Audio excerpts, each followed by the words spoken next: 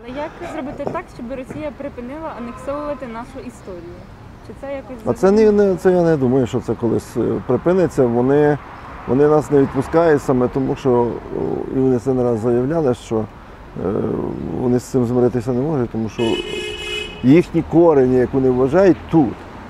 Їхня вся історія летить під коту під хвіст. Тому що далі як навчати наступні покоління. І ці всі, от вони вліпили там е, пам'ятник Володимиру і так далі. Вони за це хапаються ще, але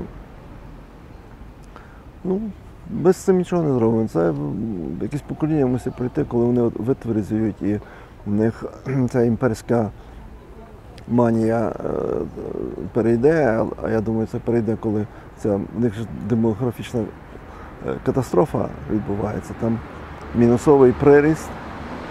Е, А плюсовий є тільки представників Кавказу, там азіатів і так далі. Тобто ці люди, е, кількість їхня росте, а кількість росіян маліє. Так що вони самі себе погублять.